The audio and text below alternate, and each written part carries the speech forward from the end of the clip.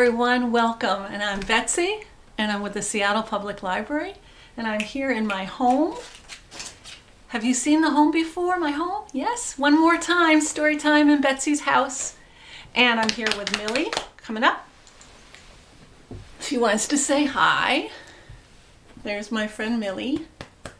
And now she may go for a walk. Right, sweetie? Okay. Good girl, Millie. And today we're going to talk all about these the beauty of nonfiction. Nonfiction is books that talk about real life things, real people, real facts about animals, real life about everything. And that's really what lots of preschool kids, kids from learning to talk all the way up, ask a lot of questions about why? What's that? Why do they do that? How does a toilet work? You know, all these questions. So we're going to talk all about that collection at the library and that place in the library where all these books are kept. Ready? Okay. But first, I want to do, I want you to warm up your hands. Ready? Warm them up. And I want to also do a land acknowledgement. So as you are warming your hands up, just remember I'm in my home in Seattle. You're in your homes wherever, but in Seattle, we are on the traditional lands of the coastal Salish peoples. And we, um, we want to thank specifically the Duwamish for helping us, um, for taking such good care of our lands and being stewards of our lands, both the Duwamish past and present. So thank you very much. And now, here we go going to start with open shut them because you know this helps wire my brain to get ready for story time. Does it help you guys too? All right, get your hands up. How many fingers do you have? I have 10. I think you, most people have 10. Yeah, maybe. Okay. Open, shut them, open, shut them, give a little clap. Open, shut them, open, shut them, lay them in your lap. Creep them, crawl them, creep them, crawl them right up to your chin. Open wide your little mouth, but do not let them in. Roll them, roll them, roll them, roll them, roll them just like this. Wave them, wave them, wave them, wave them. Send a great big kiss. Does your friend, does, uh, does my friend Erica do this song also when she starts her story times? I think she does because I saw it the other day on one of the YouTube videos. That's right. All right, here we go. So, nonfiction means real facts about real things, right?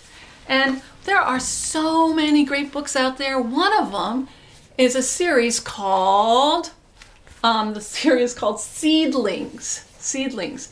And families, adults, these are the best books for toddlers and preschoolers. Great photographs with simple text and very factual. This one's about goats, right? Fantastic. And their seedlings has books on motorcycles and plants and, and lots and lots of animal books, so look for those. I'm going to make a book list for all the books that I talk about, so do not worry about writing them down, adults. I'm going to make a list and I'm going to link it down below.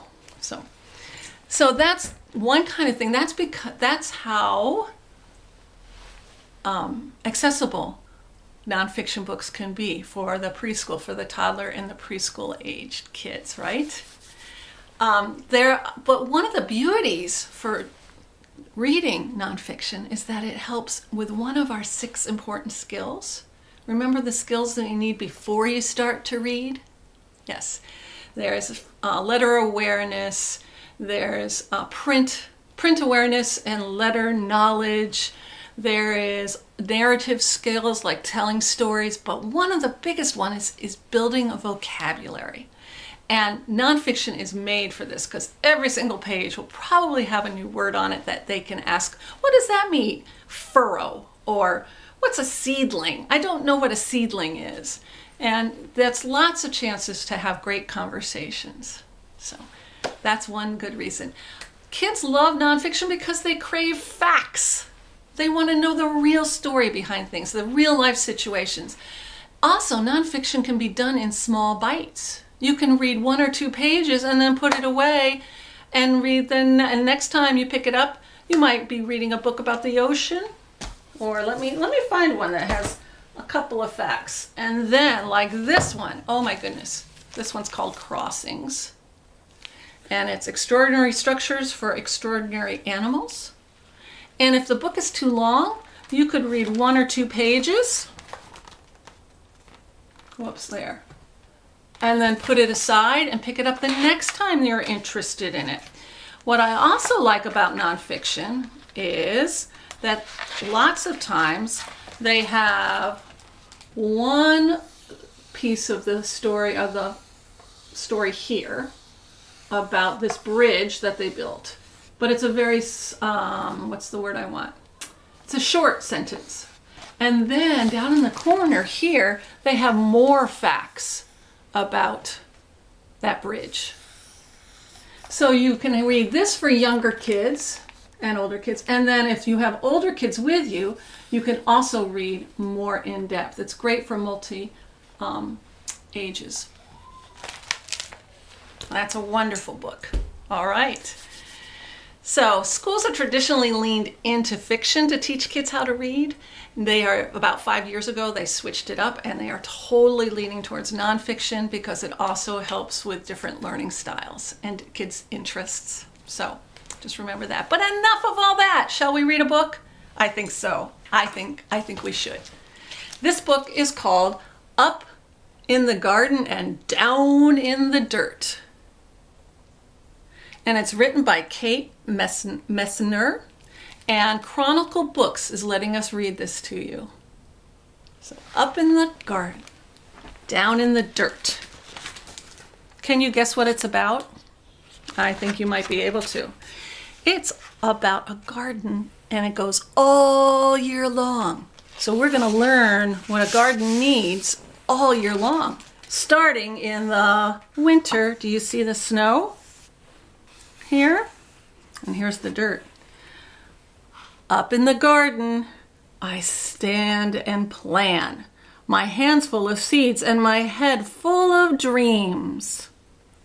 So they're looking at their garden beds, figuring out what to put where.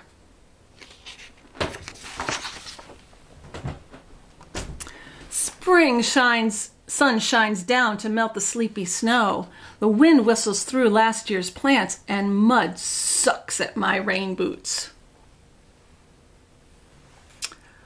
It's not quite time, Nana says. Down in the dirt, things need to dry out and warm up. What's down there? I ask. So, do you see this picture? This is up, this is above ground, and this is below ground.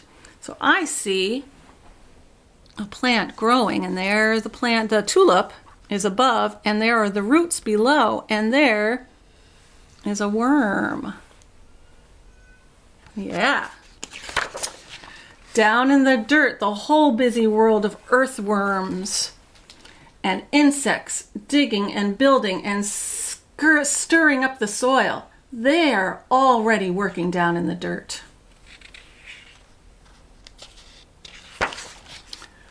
up in the garden, we snap brittle stalks and scoop rust, rustly armfuls and wheel away weeds for the chickens.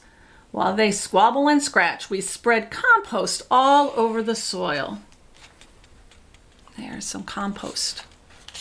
See, there might be words you don't know, like what is compost? It's a good word to ask.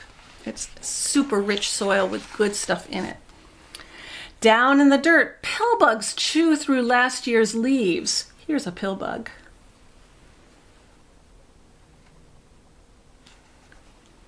I give it a gentle poke, and they roll up tight and hide in planted suits of armor, a roly poly round.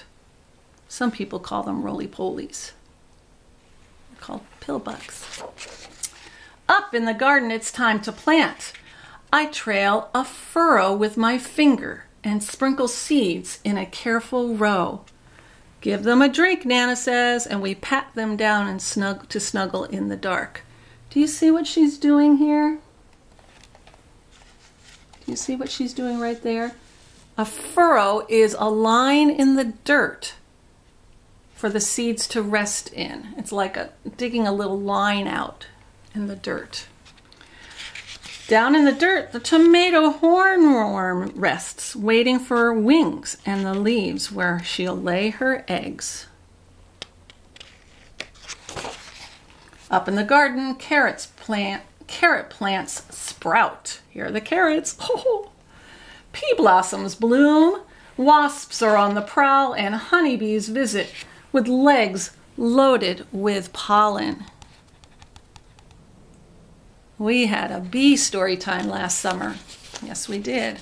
Talking about pollen bags on their legs. I weed and wilt in the sun is so strong even Nana looks for shade. Down in the dirt, earthworms tunnel deep. I'm jealous of their cool, damp, dark. So we've gone through winter and spring, and now we're in the summer. Remember how hot it was last month in Seattle? It was so hot. Up in the garden, rain shower. Whee! Nana turns the hose on me. Eee! I yell. There's lots of water. And I hide behind the cucumber vines, but their leaves can't save me. I get shiver. I shiver and I laugh. I'm drenched in Nana's rain. But down in the dirt, the water soaks deep. Roots drink it in, and long legged spiders silt walks all over the streams.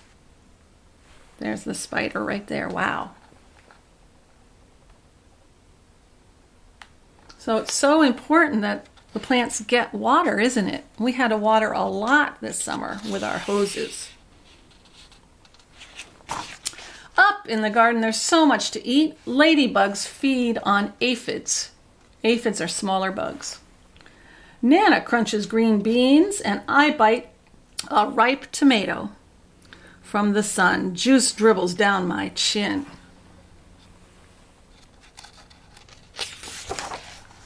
Down in the dirt, the robin's beak finds a cricket, a beetle, a grub. Slugs are scrumptious too. So this bird eats all those bugs.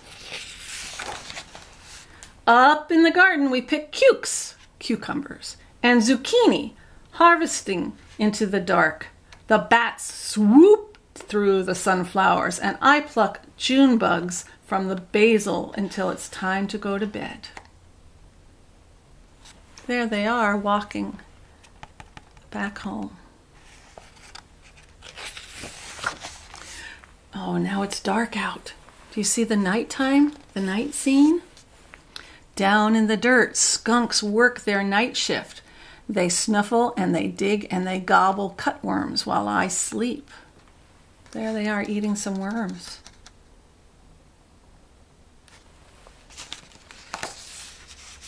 Wow, this garden is so busy. Up in the garden, the praying mantis wakes to hunt for mosquitoes. I didn't know that. Did you know that? That these bugs, these praying mantises, eat mosquitoes? Wow, I didn't know that. Nana sprays away the aphids, and I'm afraid, and I'm after the grasshoppers, ready to swoosh, but. See, she has a net. She wants to catch a grasshopper. She ready to swoosh, but. Snap! Someone else is faster. Down in the dirt, a smooth, shining garter snake crunches on supper.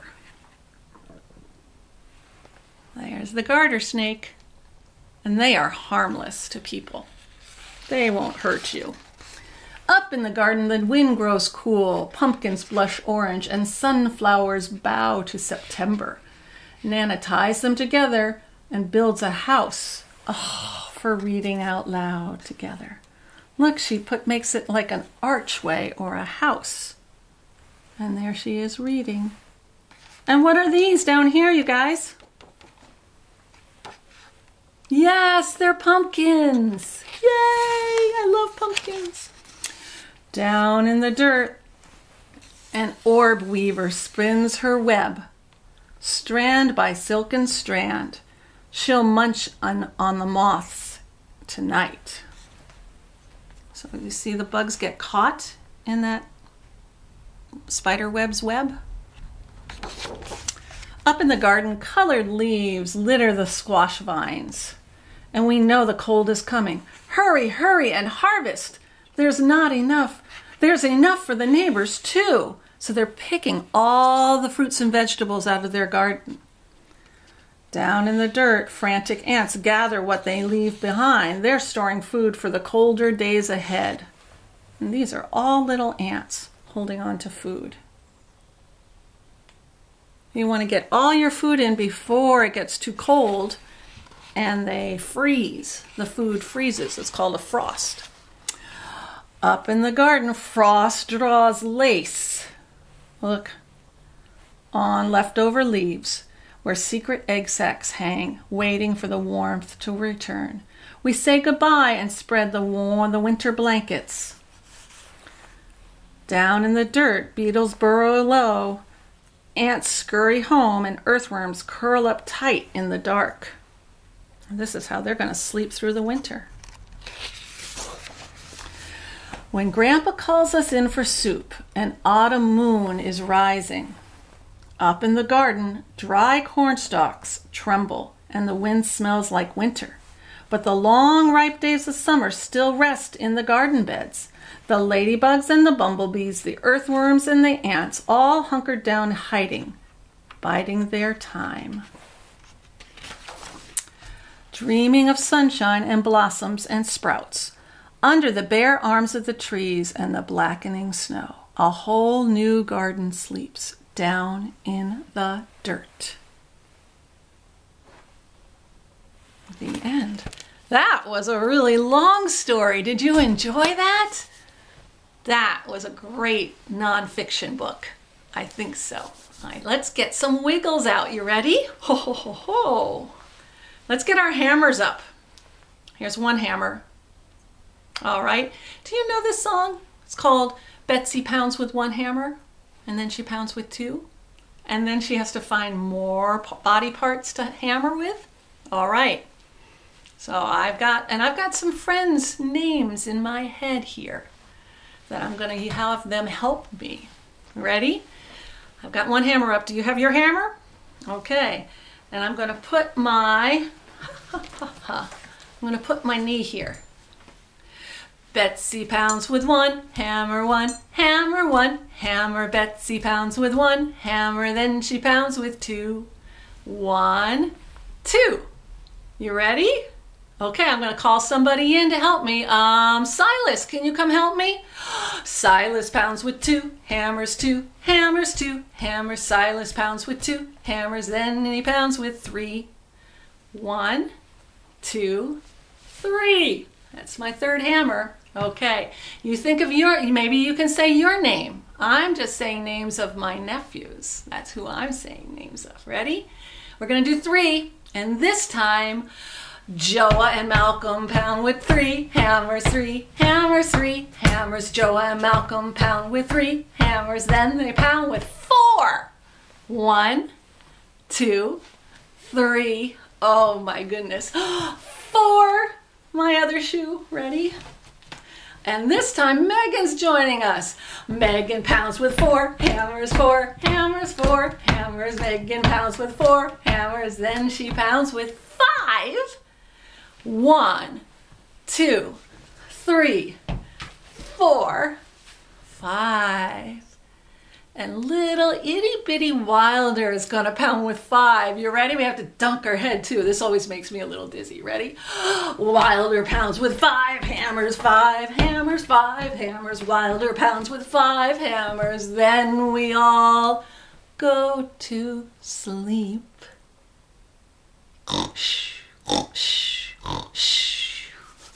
That's right. I think we were building, hmm, a tree house excuse me, a tree house. How does that sound?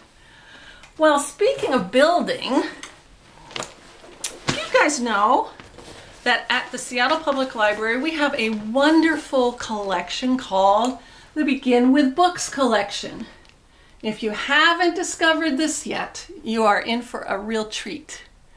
Inside each kit or each bunny bag, there are five books for preschoolers. One, let's count them together. Two, three, uh, uh, uh, construction, four, and five, building our house. That's what it reminded me of when I did the pounding the hammer song. Yes, five. Also inside of this kit is a music CD that has something to do with the theme. This theme is called Building. And this one is by the Pop-Ups, Appetite for Construction. Also in this bag is an adult book, or a, an adult, I call it an adult resource book, and it has lots of activities to do with kids together. This one happens to be called Tinker Lab. Okay? And also in this bag is a card. And the card will tell you what books are in the bag so you know what to return in there. It has an activity and it has two finger plays and a little bit about early literacy for this age. So all those things are in the bag. That's eight things total in this bag. And there are many different themes. This one is about building. There's other themes like um, self-esteem. There's another one called um, pirates. There's one on dinosaurs. There are so many different themes I can't even remember now. Count, um, let's see, one's on counting. So many, so many. But don't fret, you little ones, because I also have a begin with book bag for toddlers. And inside that, they're all board books. And their themes are very different because they're all about, oh, things that go, or out and about, or um, first rhymes, but they're all going to be board books, right?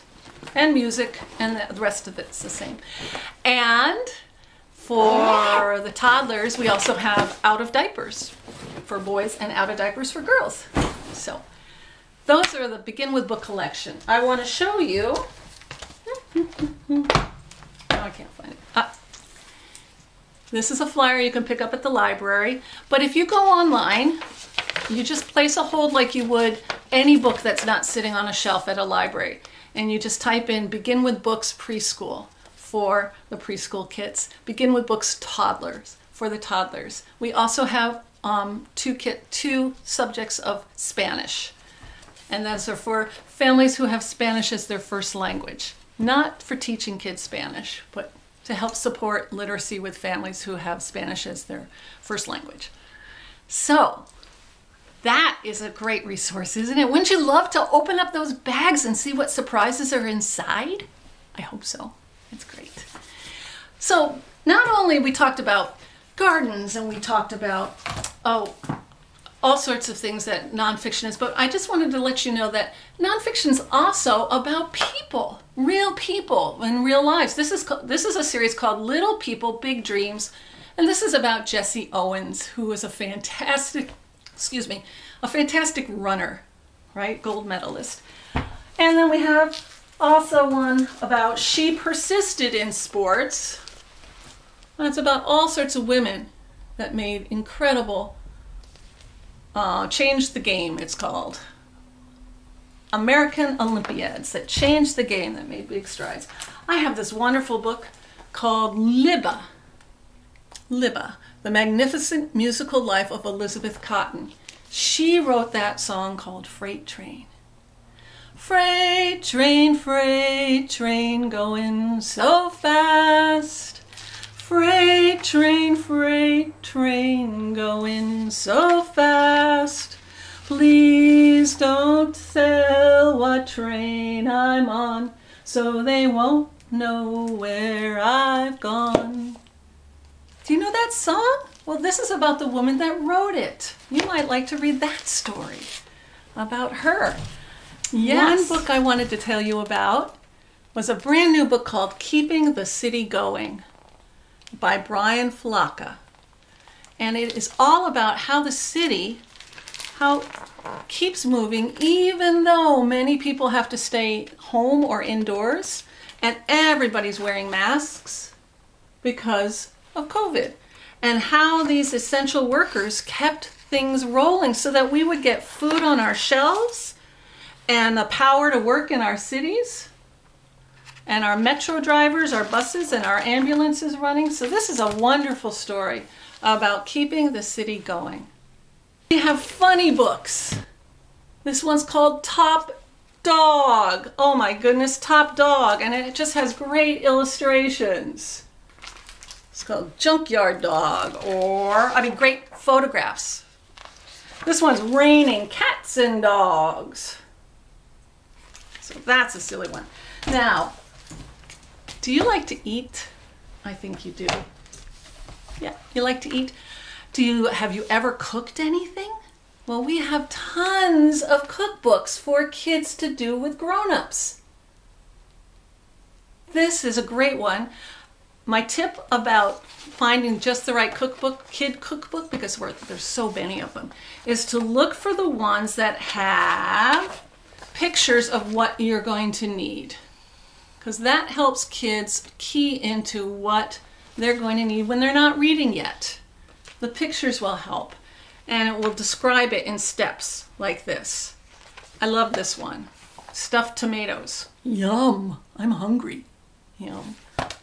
And then there are silly cookbooks too, like the Star Wars cookbook, Stormtrooper Standoff. That's silly. And let's see what else. C3P oat pancakes.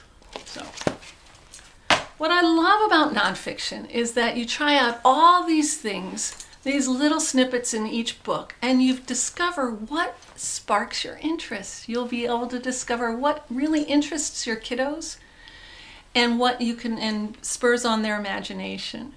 So I hope you've enjoyed this little rundown the nonfiction lane. When you go into an open library, be sure to ask the librarians where the children's nonfiction is so you can browse yourself. And um, if don't forget to check out down below, check out the book list that I put together of all these books and more. And I hope you've really enjoyed this story time. I have. Don't forget, check out spl.org for more information about when our libraries are opening and the hours and also the YouTube Kids page, Seattle Public Library Kids on YouTube, where you found this one. There'll be more content coming up. So until next time, happy reading. Let's do our closing song. The more we read together, together, together, the more we read together, the happier we'll be. Cause your books are my books and my books are your books at the library, right? The more we read together, the happier we'll be. See you next time. Oh, I have to show you my shirt. I did this because we're talking about nonfiction and birds. Yes. See you next time.